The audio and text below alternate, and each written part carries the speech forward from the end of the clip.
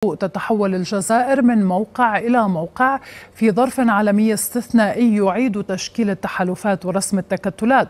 في فترة لا تتعدى العقدين استطاعت الصين بالفعل سحب البساط من تحت أقدام فرنسا في الجزائر وباتت تحتل الصدارة كأول شريك تجاري.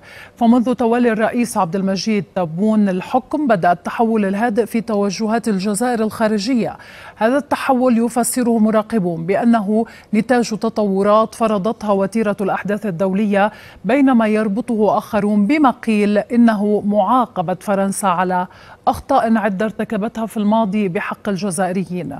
حتى عام 2012 كانت فرنسا القوى المهيمنة الأولى ومع مرور الزمن انتزعت الصين هذه المكانة بمشاريع ضخمة ولم يعد التعاون بين الجزائر والصين مقتصر على الجانب الاقتصادي وحسب بل تعداه إلى تعاون أمني وعسكري.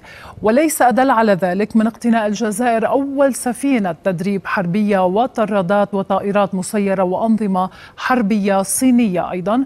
وامتلاك الجزائر بالإضافة لذلك احتياطات نقدية آه، وتخلصها من ديونها الخارجية. يرى مراقبون أن قرارها بات نوعا ما مستقلا مستقلا وسياديا وأن هذا الوضع المريح يمكن يمكنها من تنويع الشراكات والخروج من عباءات فرنسا والغرب دون مخاطر خاصة وأن المحللين يرون أيضا أن ما جعل فرنسا تخسر حظوتها لدى الجزائر هو سياستها المبنية على الهيمنة.